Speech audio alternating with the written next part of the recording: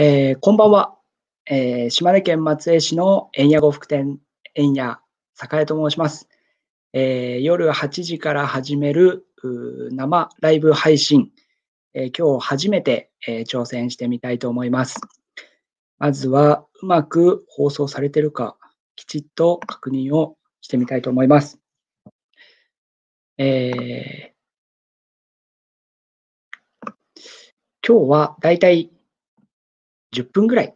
お話が初めてなので、10分ぐらいお話ができればいいかなと思っております。えーうまく放送はできているはず。ということで、えーと、まず自己紹介をさせていただきます。えー私が円谷栄と申します。一応今日放送されているのは、えー、円谷呉服店の Facebook ページ、えーのみなので、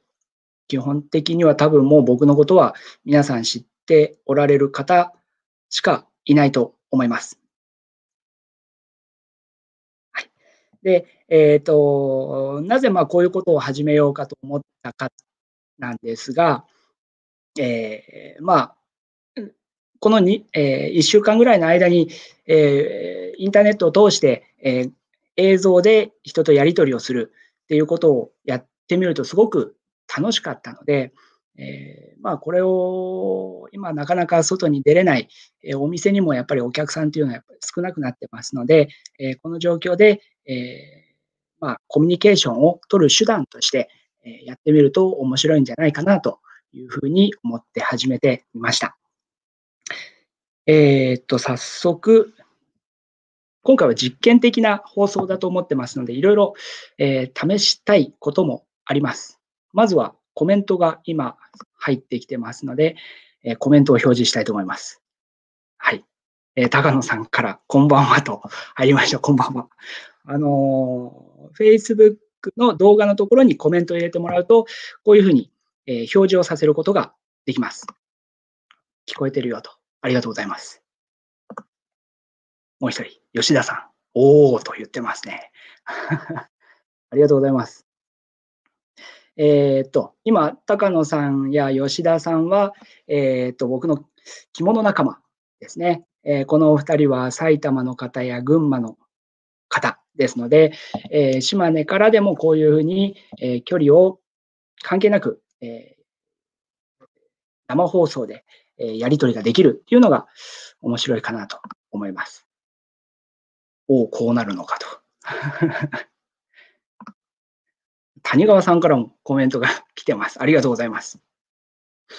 えっ、と、まあ、こういう感じの使い方ができるのが、このストリームヤードという、えーソフトですね。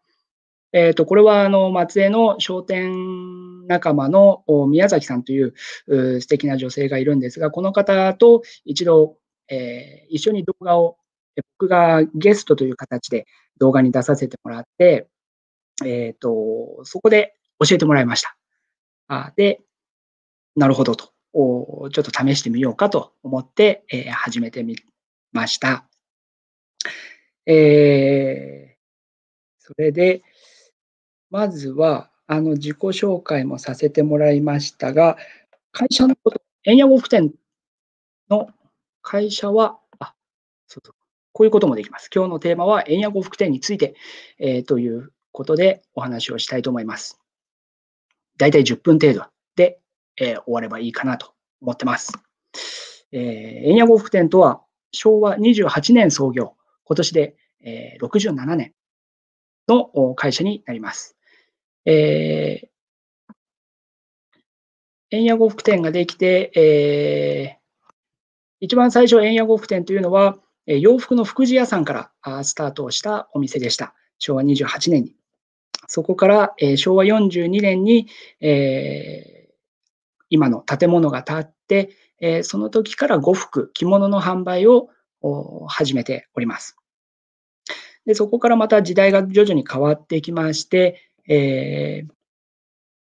まあ、オーダーで洋服を作るという方もほとんど少なくなって、まあ、ほぼ現代ではえいないと思うんですけども、えー、オーダーの洋服、それから既製品の洋服っていうのも以前までは扱ってましたけども、えそういったお洋服は一旦、え今やめて、で、僕や妻、私や妻が勉強してきたのは着物の世界だけだったので、えきちっと着物を販売ができるお店になろうと。いうことで、え少し取り組みを、え変えてみました。えー、というところで、え、またたくさんちょっとコメントが入ってきてますので、この段階で一旦コメントにお答えをしていきたいと思います。高野さん、夜行バスで10時間くらいだから近いよと。えー、どういう感覚だとこれが近いという距離になるのかわかりませんけども、あのー、まあ、寝て起きたら着くかもしれないですね、松江まで。それからこの細川さん、コメント、前もなんかこういうコメント僕いただいたんですが、意味がよくわからないです。はい。だから藤井社長からも、えー、コメントをいただいております。ありがとうございます。えー、こんなことをやってみております。あ、それと藤井社長のインスタグラムも、えー、拝見しておりますので、あの、素晴らしい、かっこいい姿を見ております。そして、あ、清水さん、こんばんは。ありがとうございます。見ていただきまして。えー、そして、吉田さん、あれ面白かった。先日のコラボ配信のことですかね。宮崎さんとご一緒にさせてもらった。やっぱり、今ちょっと一人で喋ってますけど、ちょっと寂しいですね。誰かがいると、すごくあの話はしやすいかなと思います。あ、宮崎さん。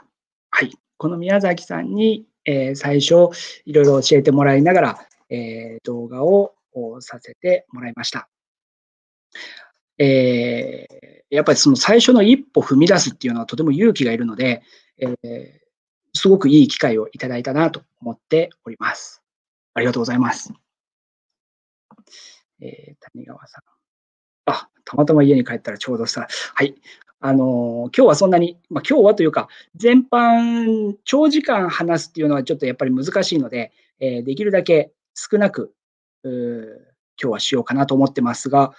今見てくれてる人の人数も僕の方では、画面では見えてます。今11名の方が見てくださってるのが分かっております。すごいですね。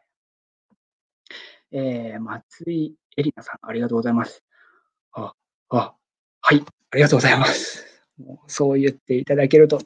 あの、うちの今、Facebook の、えー、フォロワーがだいたい780人ぐらい、えー、いてくださってます。で、この方々と、今まではどっちかというと、まあ、少し、まあ、これも一方通行ではあるんですけども、えー、こういう場所で、えー、よりリアルタイムなやり取りができると、また面白いと思っております。まあ、えー、今、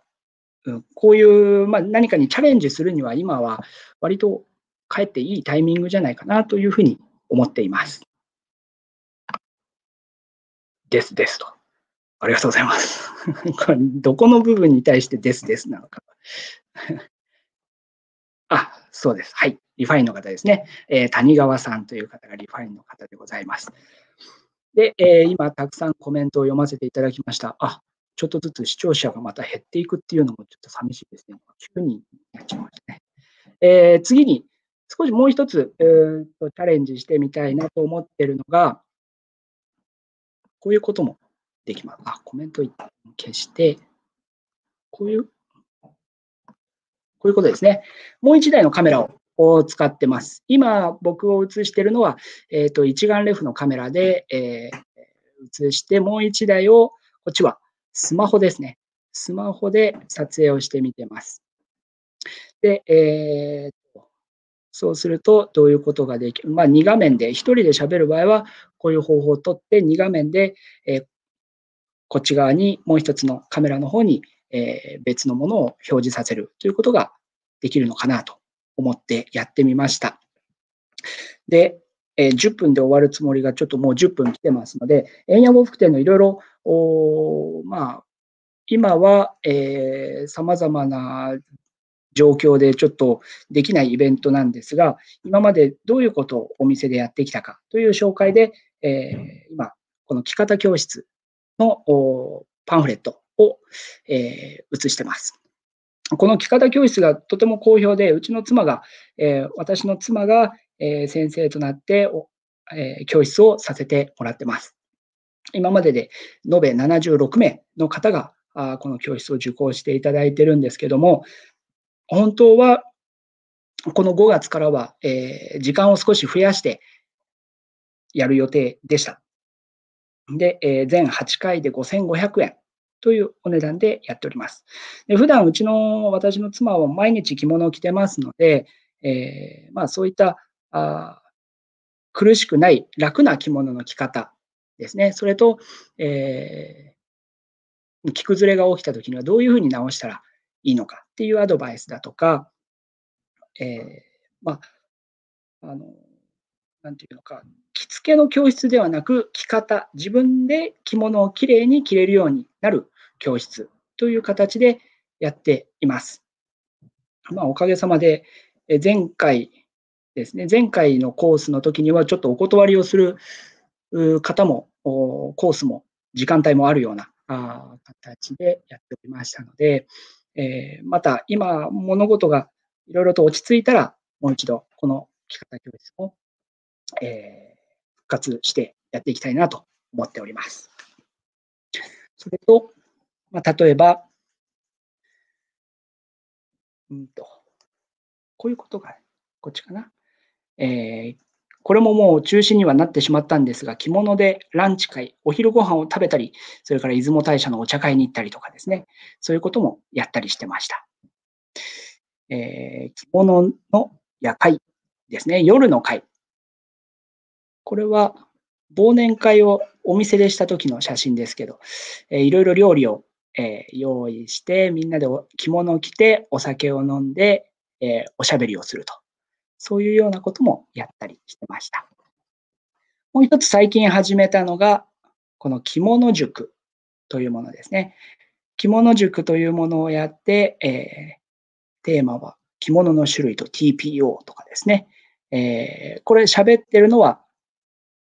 大体私が喋っております。あの、そんなに難しいことは話はしておりません。なるべく簡単なこと、基礎まあ、基礎的なことをですね、お話をするようにしております。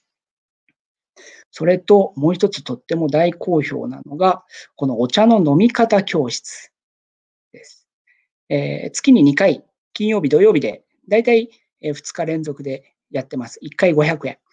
あの、お茶の飲み方というか、お茶の教室っていうと、えお稽古に行くと、どうしてもお茶を飲むんではなく、お茶の立て方とか、あそういう、えー、作法というか、そういう、えー、お茶の立て方とかのおお稽古になってしまうんですけども、実際に、まあ、あの、お茶会とか楽に楽しもうと思った場合は、えー、飲み方が分かってないといけないというか、それさえ分かればお茶会が楽しめるといいますか。あそういう、えー、ところを勉強できると、もっと松江のお茶会があ気楽になるんじゃないかなという思いで、お茶の飲み方教室というのをしております。お菓子の取り方とお茶の飲み方ですね。そういうのをここでお稽古をしてます。これ、あの、うちのお客さんは、えー、親子で来ていただいたりとかして、お子さん連れて、えー、教室に来ていただいたりしております。はい。というのが、えー、まあ、日常の円谷呉服店での、えー、各イベントだったんですけども、えー、ちょっと今はそういうイベントができなくなって寂しいんですが、あのこの着方教室についてはぜひこれからも、えー、早い段階で復活したいなと思っております。はい。で、えー、っと、もう一度ここでコメントを読ませていただきます。インスタグラムもあるんですね。フォローしておきます。ありがとうございます。インスタグラムもやってます。えっ、ー、と、一応、円谷呉服店では、えー、ホームページも持ってますが、それ以外に Facebook、それとインスタグラム、Twitter、一応 YouTube もあります。えー、それらを手当たり次第 やってます。で微妙にその SNS については、それぞれの特性がちょっと違うので、えー、Facebook の内容と Instagram の内容は、えーまあ、部分的に、えー、ファんだ内容、ちょっと微妙に違ったりしたりもしてます。あとは一応、ネットショップ、ウェブショップもあります。す、えー、べ、てまとまってるのは、円安呉服店のホームページにアクセスしてもらうと、そこから、えー、と各 SNS とネットショップにつながりますので、円安呉服店にまずはアクセスしてください。えー、藤あ高野さん、藤井社長の着姿、裾回しと肩が染め分けたってかっちよかったです。そうですね。あの、藤井絞りさんの、えー、絞りの、その染め分けの羽織を僕も持ってますけども、えー、木綿の、木綿で作った、えー、まあ、着物や羽織なんですが、今までの木綿の着物とは、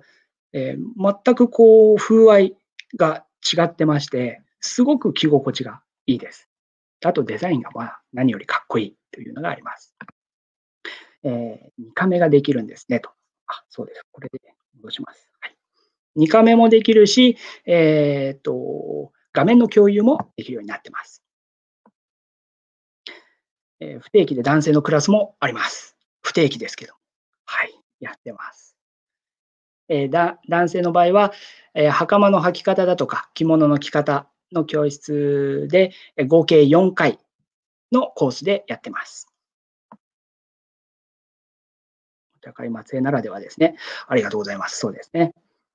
えっ、ー、と、松江の、まあ、これ今、YouTube は全国の方も見ている、えっ、ー、と、うちの Facebook のフォロワーの方っていうのは、島根県の方よりも正直、県外の方の方が多いので、えー、松江のお茶会のことを紹介すると、大体、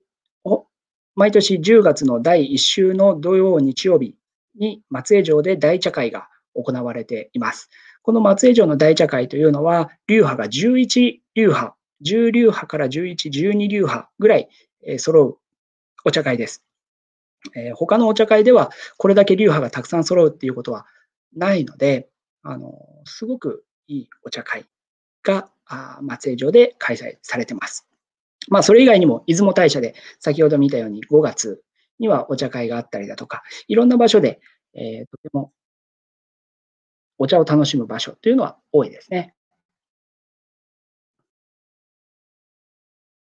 というところで、えー、今、もう20分になろうとしてますので、